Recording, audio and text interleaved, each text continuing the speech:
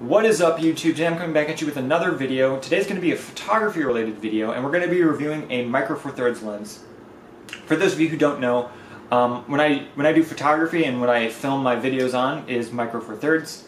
I really really like Micro Four Thirds for a lot of different reasons. It's actually my preferred system and um, I've tried full frame. I have a Canon full frame camera with a 50mm f1.4 and I like it a lot. It's just very heavy and I actually think that the depth of field is too thin sometimes with that, and um, I actually really like using Micro Four Thirds because I find it, it, it's a it's a my ideal balance between lightweight and um, professional professional look.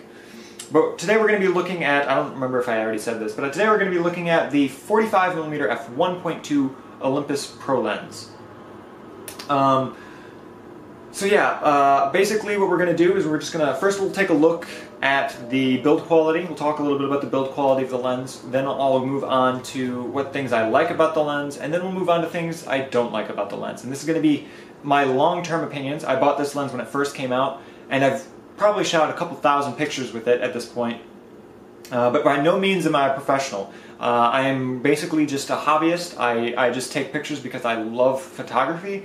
I don't make any money off my photography. I have done events in the past, but normally I don't. Uh, I would say about 99.9% of my photography is just stuff that I do for myself. Which um, some people may think that this lens is a little bit of overkill for that, but um, it's just the lens that I that I wanted and it's the lens that I bought. So uh, yeah take that with what you will. So, uh, first things first, let's talk a little bit about the build quality of this lens. So this uh, lens is built of 100% uh, metal and glass, basically. At least from what I can tell. If there is plastic in here, they do a good job of hiding it. Um, you've got a metal mount, as you would expect. You do have a, a small weather sealing gasket, as this is supposed to be weather resistant. Uh, to which I can attest, I have used this lens in uh, heavy, heavy snow. I have used this lens in, in, light drizzle as well, and it has held up fine. It has a function button on the side, which you can program if you have an Olympus camera to whatever various different functions you'd want. It has your manual focus clutch, which I absolutely love. Uh, it's, a, it's a great feature to have. And um, it's got a 62 millimeter filter thread. Um, so before we go into what I like and what I don't like about this lens, first I want to say two things, well, one thing basically about something that you will need, at least in my opinion, that you will need for uh, if you purchase this lens. So if you buy this lens um, for whatever reason you buy it for, and you want to take advantage of that weather sealing um, advantage, I highly, highly recommend using a some sort of clear UV filter. Um, now I know a lot of people don't like using these because they, they, they deem them unnecessary, but um, in large part they are necessary for protecting the front optic because they are quite resilient, but in terms of weather protection I find that having that extra seal on the front element um, can basically it's like an extra precaution and an extra crevice that the water would have to seep into to even get to the weather sealing gaskets. So I find it uh, I find that if you want to use this lens, especially in various different weather conditions, I recommend getting a clear UV filter. Now, I don't recommend, I know a lot of re people recommend just cheaping out and getting the cheapest glass one you can find. I don't recommend that because there's definitely a lot of different types of quality of glass. And what you're really paying for when you pay for an expensive filter is high quality, low uh, dispersion glass, which basically means there is uh, very little uh, amounts of air pockets because every piece of glass has air pockets no matter how microscopic they are. Um, but basically what you're paying for is the ultra refined glass. And uh, so I recommend something like, I have a Hoya one on here. It cost me, I think, $60 or something. And that's something that I would recommend uh, if you want to take advantage of the weather sealing feature. Now, another thing I recommend is another filter. I highly, highly recommend getting a ND filter. If you want to shoot this lens wide open, this is a necessity. And I also recommend getting an expensive ND filter for this lens because number one, you paid for the expensive optic, you might as well get a nice filter for it. Number two, expensive ND filters are very, very beneficial because they create less color casting when you're using them. Uh, so I've got a B and W uh, three-stop ND filter. I'm not sure if it's B and W, B plus W. I never understood how you actually say their name, so I'm just going to call them B and W. And uh, I picked their three-stop ND filter because I find that's a nice balance. Um, if I feel like if you went more than three stops, you might actually have problems with shutter speeds um, in certain instances, and I feel like if you went less than that, you still might hit the shutter speed cap on your camera. So I find a three-stop ND is sufficient enough. So and I went with the B&W brand, um, and it produces a wonderful image with very little loss in sharpness and almost zero color cast, which I really, really like. So those are the two things that I recommend you getting. A clear uh, filter and a three-stop ND filter um, for those two different reasons. Now, let's talk about the things I like about this lens. So, one of the first things that I really, really like about this lens, and one of the things that's probably the most noticeable about this, is the focus clutch mechanism. Now, uh, you may be thinking um, it's kind of unnecessary, which it can be. Especially if your camera has um, eye detection like mine does. I'm using a Panasonic G7. Uh, that's what I do all my photography and videos on, and right now I'm using eye detection autofocus, and it works really, really well. However, um, with depth of field this thin, sometimes I find that um, it it it focuses, but um, there it can it can be focused on the eyelash and not the actual pupil itself. Sometimes that can happen. So this uh, focus clutch is very very handy for manual focus for that reason. You can ever so slightly adjust the focus. Or if you want to just do manual focus only, that works really well with the peaking in this camera. And what I like about the manual focus is, if you've ever shot with a film camera, this feels very, very close to shooting with an actual analog film camera lens. And um, I don't know what it is, but I feel like just the dampening on the on the ring itself and just the, the hard stops and the the responsiveness of the motor, it just really makes it feel almost like you're actually moving the actual glass elements with your hand. But in reality, all the focus clutch is really doing is adding hard stops and adding a linear progression to the turn of the ring itself. Otherwise, it, fun- it functions the exact same as if you don't have the focus clutch pulled where um, you spin it. It, it. I mean, there's no difference. It's just the way that the motor is working is just a slight di- bit different. So I, I really like that focus clutch mechanism as it makes it feel a lot more like a real analog lens.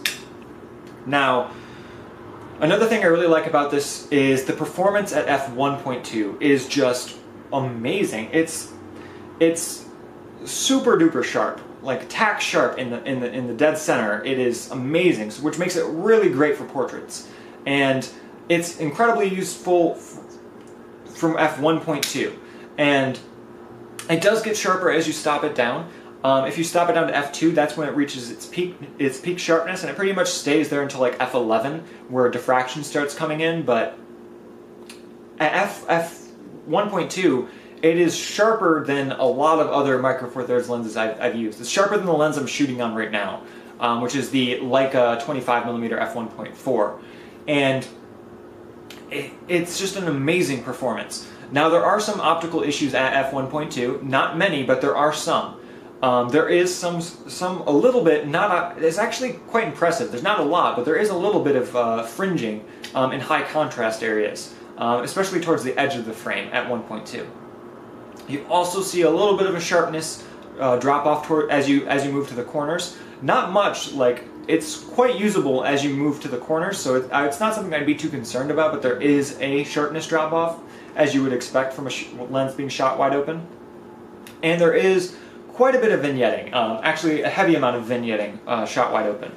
But that's easily fixed in post-processing, so uh, that's not something I'd be concerned about really either. Um, some other things I really like about this lens is just the durability of this lens uh, is just fantastic. Like I said, the build quality is really good, and I can really attest to the weather sealing in this lens being really great.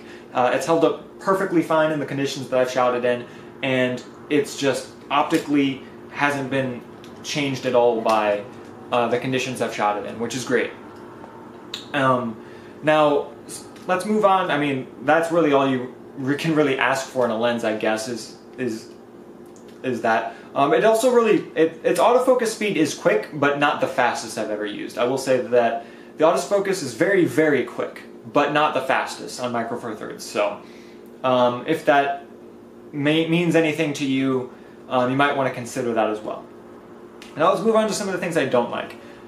Um, one of the things I don't like about this is going to be kind of nitpicky, really, because it's kind of something you expect with this type of lens, but the weight. Um, it is a heavier lens for Micro Four Thirds, so in comparison, uh, this is my Panasonic 100 to 300. Um, this is actually quite compact for what it is, but it is quite hefty. But if you compare the weight to the 45 millimeter, they're almost exactly the same, but the 45 millimeter might even be a little bit heavier. So it is a dense lens. Um, so that means that when you're using it on your camera, you're definitely going to feel it if you use a neck strap, and it might be front heavy on your camera. However, like I said, it's something that you kind of expect when you buy this lens with the kind of lens it is. Um, so it's not anything really unexpected. Another thing I don't really like about this lens is obviously the price. So this lens can come in at the full retail price I believe that I paid for it was 1200 US dollars and um, they don't really go for that much anymore. That was like brand new back then. But these days it tends to go around $1,000 which is still very very expensive for a Micro Four Thirds lens. So um, that is one kind of downside to this lens. Um, but if, like I said, if you want the best quality you have, you're going to have to pay those sorts of prices on any camera system, really. So um, that's another thing. Uh, another thing I dislike about this lens is uh, this function button, actually. Um, number one, I don't, even if I could, I don't really want to use that function button, so it's kind of unnecessary to me. But number two, this button doesn't work on my camera because I don't shoot with an Olympus camera. So I don't get that, that function button uh, usability. Now I've heard that in recent updates on the G on the G9 that you can use it, but uh, on my camera I can't. So that's kind of a downside for me, and some, something to keep in mind if you're trying to buy this lens uh, and you're using a Lumix camera. Now, um, other than that, uh, there's not really many things I can say that are negative about this, um, and I've pretty much touched on all the things um, that I really like about it. Oh, I guess I could go back and, and, talk about a little bit about some of the things I like about it. Um, I do really like the out of focus rendering. Uh, the bokeh quality is very, very smooth. It's um, uh, they use what they what they call their feather bokeh technology, and it is it is honestly you can tell the difference. It the edges it, it really it's not so much that the the backgrounds are creamier. It's more of the edge dispersion of the bokeh balls are more evenly dis. There's less of a hard line there, and I think that that really works out well, especially for portraits, which is what you would want. And um, now, some people may say that that actually kind of uh, comes in at a, at a cost. Um, some people really like character in their lens. I find that this lens lacks a lot of character. Um, it is very precise. You'll get a lot of precision out of this lens, with very little character unless you consider the feathered bokeh a character, which I kind of consider that more precision because that's something more desirable. It's it's an expected effect and you can analyze it and you can reproduce it easily.